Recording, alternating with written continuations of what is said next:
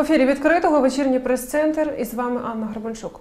Гість нашої студії речник східного угрупування військ Сергій Череватий. Сергію, рада вас бачити. Доброго. Почнемо з ситуації на фронті, на східному фронті. Напрямки, тож вам слово. Ну, головними напрямками удару ворога залишаються Бахмутський, Куп'янський та Лиманський. Е, Епіцентр бойових дій це саме навколо міста Бахмут, де воїн, ворог щодоби зосереджує великі кількість своїх особового складу. В першу чергу це зараз він кидає найпідготовленіші е, тактичні загони е, цієї злочинної організації Вагнера. Але поряд з тим, несучи великі втрати, ми бачимо, що вони підсилені, е, наприклад, військами е, повітряно-десантними військами е, Російської Федерації. І нашим воїнам доводиться тримати таку жорстку оборону, тому що ворог намагається постійно такими хвилями цих е, малих тактичних груп виснажити їх і знайти слабке місце, тому що природньо, як би не було професійно вибудована оборона, які б не стояли загартовані підрозділи, коли ти постійно, фактично постійно з невеликими перервами повинен спостерігати за полем бою. І вичисляти ці групи і знищувати їх. Якщо вони раніше е, побачили то десь вогнем мінометів, артилерії, і в ближньому бою це кулемети, інші засоби, автомати були ближнього ураження. Скажіть, будь ласка, яка ймовірність е, Бахмутського котла? Ну, я взагалі би рекомендував слово котел не вживати. Це наратив російської пропаганди з 2014 року, коли, на жаль, вони захопили абсолютно мирну Україну, яка не готувалася не воювати ні з ким. І скориставшись такою нашою тимчасовою невеликою слабкістю, вони зробили оточення е, в декількох, е, буквально в декількох е, регіонах наших, і потім почали масово тиражувати, що ми там не здатні нормально воювати, і що у нас от е, ми постійно попадаємо в котли. Спочатку великого вторгнення. Збройні сили України не дозволили на жодному напрямку ворогу е, оточити, тому що це оточення називається правильно. І, і, і вони оці намагання, навіть в їхніх пропагандистів намагання використовувати це слово котел, воно в рази зменшилось, тому що вони бачать, що шанси на це, е, м'яко кажучи, примарні. На східному напрямку воюють одні з кращих, е, поряд з тим, що це дуже достойні, гідні е, і професійні воїни. Тут одні з кращих командувачів це генерал-полковник Сирський з колосальним досвідом, і його начальник штаба генерал Баргілєвич, які разом, наприклад, боронили Київ і викинули звідти окупантів, проводили харківську операцію. Тому абсолютно щитуються всі дії противника. Дуже важко, ситуація контрольована, ні про які так звані котли не йдеться. Пане Сергію, от, власне, нещодавно командувач сухопутних військ ЗСУ відвідав Бахмут і заявив, що цитую, оборона необхідна для підготовки весняного контрнаступу української армії. Прокоментуйте це. Ну там весняний це трошки редактори е, не розібралися, е, тому що насправді він буде погото... абсолютно вся правильна теза. Це чіткий е, меседж, який ми даємо українському суспільству, в тому числі я, коли щодоби е, звертаюся, маючи довідку е, про ситуацію на фронті і е, розуміючи загалом ситуацію, що головний зараз такий завдання, надзавдання, я б сказав, в першу чергу Бахмутського фронту, то що там стоять воїни, не дають пройти ворогу, це обезкровити ворога, знесилити, сточити його бойові можливості, надламати його бойовий дух. Той же, коли в цей же час е, тисячі українців, їхніх побратимів, проходять вишколи як в Україні, так і за кордоном, освоюють нову техніку, в тому числі західного зразку, е, потужнішу, з більшими е, можливостями ураження, щоб коли вони прийдуть, вони вже цього обезсиленого і здеморалізованого ворога могли набагато швидше, з меншими втратами викинути з нашої землі. Тому що наступ це завжди набагато складніша операція, чим оборона, в рази складніше. І тому, чим ворог буде більш витріпаніший, знесилений, вибитий, морально зломаний, тим легше буде е, його викинути. І саме головне, найменші будуть втрати при наступі, бо вони завжди дуже великі при втраті при, при наступі. Тобто ми а, обесилюємо ворога, а, ви- так для себе виграємо час і а, власне накопичуємо резерви. Абсолютно. для контрнаступу. Зрозуміло, які ще населені пункти, які ще напрямки так на сході є такими критичними, про які не так багато говорять, як про Бахмутський. Ну, операційна зона, за яку ми ще відповідаємо східне групування військ, це також і, і де постійно йдуть бої. Це е, Купецько-Лиманський напрямок. Там ворог уже протягом декількох тижнів проявляє активність. Е, Щодоби атакує е, наші підрозділи там в районі таких населених пунктів, як Білогорівка, в районі Кремінної, в районі Червонопопівки, е, там ряда інших населених пунктів, Гряниківки, там це побільш Харківський напрямок. І що, що характерно, на відміну від Бахмутського напрямку, там це підрозділи професійні російських окупаційних військ, повітряно-десантні війська, механізовані війська, танкові, і е, також е, так званого цього корпуса ЛНР. е, Підрозділи сформовані також окупаційною владою, але в тому числі використовуючи мобілізацію на окупованих територіях. І що характерно, там вони більше використовують бронетехніку. І щодоби знищується там бронетехніка в кількості, як правило, декілька танків, декілька бойових машин піхоти. І ми зараз може бути реактивна система залпового вогню. Як, наприклад, сьогодні дві реактивні системи, ой, прошу вибачення, три реактивні системи е, вогню ураган було знищено. Е, Знищуються танки Т-72, як правило, основний е, бойовий танк Російської Федерації, але і ми бачили, що вони туди стягували, напевно, що найкраще в них є, тому що протягом декількох діб ми бачили, що вони використовували і Т-90, найновіший свій танк, і було підбито в один день навіть було підбито 5 чи 6 одиниць такого. Е, В деякі дні по одній одиниці Т-90 цього найновішого танку. БМП-3 модерний їхній підбивався. Е, Також вчора була підбита, наприклад, бойова машина піхот, ой, бойова машина десанту, повітряно-десантних військ. Тобто вони використовують там більш техніку, і вони там набагато більше е, використовують е, артилерію реактивні системи залпового вогню. Тобто професійно застосовується військо, тобто масовий удар наноситься артилерійський перед атакою. Потім, тобто, це не ці вагнера, яких не жалко. Тут вони все-таки дотримуються якихось елементів стандартної військової тактики. І більше 300, як правило, вис- е, е, обстрілів за добу. За цю добу 395 було, бувало більше 400. А, Скажіть, будь ласка, щодо нашої техніки, як багато нової? Ну, знаєте, техніки будь-якому командиру завжди техніки не вистачає. Зрозуміло, що велика ділянка фронту, і зрозуміло, що інтенсивність боїв велика. І ми ма- ма- маємо техніку, скажімо так, в тій необхідній е, кількості для проведення ефективної оборонної операції. Вої небагато, е, але ми тут використовується принцип якраз командуванням, що максимально ефективності. Наприклад, росіяни, на жаль, переважають нас поки що ще в математичній кількості артилерії і артилерійських снарядів. Тому наш єдиний вихід це точністю відповідати ефективністю.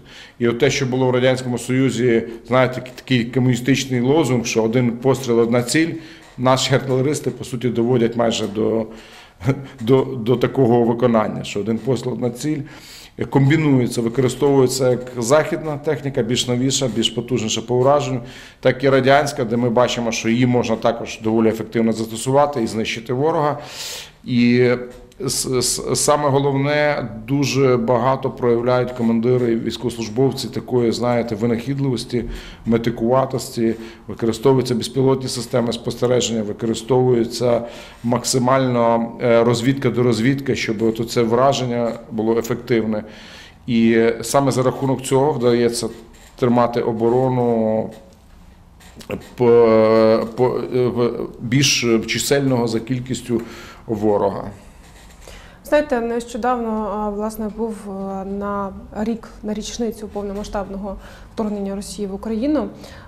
Дмитро Комаровський презентував фільм Рік, та він так називається. Чи дивилися ви його, і чи які от маєте враження? Тому що багато дуже сліз, болю в той же час багато гордості за наших бійців відчув кожен українець. Ну, ми допомагали Дмитру Комарову знімати епізод якраз е, по сходу. Е, Була чудова професійна робота. Е, Ми обмінювалися думками, е, говорили якісь аспекти, які він не знав. Йому дали ексклюзивну можливість попрацювати на командному пункті, що раніше нікому не дозволяли. І він це справді важкий фільм. Це такий, знаєте, можливо, певний катарсис да, для нашого суспільства. Коли ми були в цьому всьому, але якось відокремлювалися від деяких речей, а тут змогли побачити все протягом року повністю. Це- не тільки свій окремий там переживання, біль, а свій біль і, і переживання, і боротьбу накласти на, на біль, переживання і боротьбу всього суспільства і країни. І, звичайно, це в кожного якось так е, відгукнулося всередині. Але з другої сторони, воно дало неймовірну гордість, що ми проти такого тоталітарного великого монстра е, змогли вистояти безжального і який не дотримується жодних людських якихось е, норм, немає жодної емпатії ні до мирного населення, ні до мирних міст, і, і до дітей, старих е, чи там жінок. І ми зуміли вистояти. Ми нанесли йому ряд суттєвих поразок, яких він не знав вже багато, напевне, десятиліть. Е, Це і наша Київська операція, Харківська операція, Лиманська операція, Херсонська операція. Сточування його бойової можливості зараз героїчна оборона Бахмуту. І це А дало неймовірну гордість за українців, за цю єдність суспільства, військово-політичне керівництва і війська, і взагалі всіх сил оборони, не тільки Збройних сил України. А і також друге, абсолютно переконаність в тому, що ми переможемо. І, е, і зможемо, і ми переконалися, наскільки ми сильні. Весь світ переконався, наскільки ми сильні, і ми самі себе, напевно, чергове здивували, коли показали, наскільки ми сильні, суспільство, е, об'єднане Збройними силами, об'єднане своєю, своїм керівництвом. І тоді ми, ми здатні творити справді неможливе. А значить, такої країни є надія і, і, і є розуміння, що вона може стати справді потужною, як мінімум регіональним лідером. Е, Пане Сергій, нещодавно був день добровольця в Україні, і нещодавно власне поховали командира підрозділу Вовки да Вінчі. Чи ви були знайомі з е, Дмитром особисто і е, що хочете сказати? Ми справді бачили всі фотографії е, церемонії, коли ну, очільники нашої армії державної ставали на коліна, і це насправді мурахи викликали по тілу. Ну насправді, на превеликий жаль, я особисто не знав Дмитра, але знав багатьох людей, які його знали. І е, це, це справді велика втрата. І це, знаєте, стало якимось такою точкою біфуркації для всіх. Тому що там, наприклад, ця мразь е, Ольга Шарій, да, е, вона написала, ну, по роду діяльності мені доводиться займатися, в тому числі моніторингом ворожих там або навколо ворожих ресурсів. І вона написала, що почему така честь, іменно цей, е, а от другі ребята. Тобто навіть на цьому намагаючись спекулювати, не розуміючи, що е, саме так збіглося, що цей молодий хлопець 27 років, який з свого повноліття він на війні, е, безмежно талановитий, красивий, е, відкритий, е, талановитий командир. І е, І- І у нас таку це біль викликало, і тому що ми розуміли, що він як символ певного покоління, оцих, хто пішов воювати, і хто воює з 14-го року, і що він е, справді, от в силу своєї такої харизматичності, в силу певної, знаєте, що він герой України, перший з добровольців, що його знали, що його знали на фронті в першу чергу, що він от викликав такий резонанс в суспільстві. Весь Київ вийшов охоронити все військове керівництво. Всі ми тут були, які, знаєте, в такому. Якомусь я не знаю, як це писати. От справді так буває, що саме ця людина стала цим резонансом, який в кожному ми всіх жаліємо наших побратимів. Нам неймовірно відміну від окупанта, яких там в целофанах мішках відвезли, да і відвезли. Головне, щоб гроші за нього отримати. У нас в суспільстві потужна емпатія, співчуття, солідарність. І, і ми про всіх пожаліємо. Але він просто став от саме так збіглося, що такий момент, і його біографія, його подвиги на фронті, його така, знаєте, сама по собі привабливість персони, вона стала тим символом, який дуже від, від, відізвався в серцях у всіх українців. І, безперечно, це, це вже історична особа, і це герой, який війшов назавжди в пантеон е, поряд з багатьма величними українцями. І на його прикладі, я думаю, будуть не одне покоління воїнів, командирів виховуватися, називати, називати його іменем вулиці. І неймовірний біль і неймовірна гордість, що ми в одну епоху жили з цією людиною. Хочу вам додати, що приблизно в цей час, так, 7 березня, Дніпро також страждав і досі страждає від кривавої рани. Ми, на жаль, втратили е, речницю ДСНС Євгенію Дудку, яка також була добровольцем. Вона добровільно робила свою роботу, вона добровільно їхала тоді е, так е, в той аеропорт. е, І під час тривоги, власне, також вона працювала. Це було добровільно абсолютно. І справді, от назвати вулицю на честь цих героїв це найменше, що ми можемо зробити. А те, що повинні, це зберегти їх у своїх серцях і розповідати про них дітям. Бо е, герої це ну, герої не вмирають, по-перше, так. І слава героям. А я абсолютно з вами погоджуюсь. І, і саме зараз ця генерація нова цих безперечно геро- героїчних і, і, і багато дуже часто молодих, на жаль, людей. Вони як мінімум мають бути їхнє вшанування. Це в символах, в символах, ем, в, в пам'ятних табличках, в вулицях, в в тематичних е, уроках для дітей, щоб вони знали, зав- завдяки кому е, вони можуть жити в своїй справді незалежній країні. Ще одна така історія, коли е, так я пам'ятаю цей момент, коли відкриваєш що завгодно, Фейсбук, Інстаграм, і там е, всюди так фраза Героям слава. Так, це захисник України, якого було розстріляно е, лише за одну фразу Слава Україні. На вашу думку, навіщо треба було це відео викладати окупантам? Ну, ви знаєте, я, на жаль, не знаю точно. Там бувають різні випадки. Буває, що просто е, вбили окупанта і попав в телефон. Воно може бути. Буває, вони, вони не відрізняються як е, ні великою такою, знаєте, гуманністю, так і великим розумом вони не відрізняються також. Могло, могло бути просто бахвальство, там наше залякування. Е, Ну, резонанс був зовсім інший. Замість залякування відбулася масова консолідація і концентрація ще більшої ненависті до ворога і ще, ще більшого бажання е, всіх їх тут вбити або вигнати. Тому це безсумнівно ще один герой. Це абсолютно людина просто такої еталонної мужності. Знаєте, раніше тільки в фільмах таке можна було побачити, спокійно затягнутися і піти на смерть за свою країну.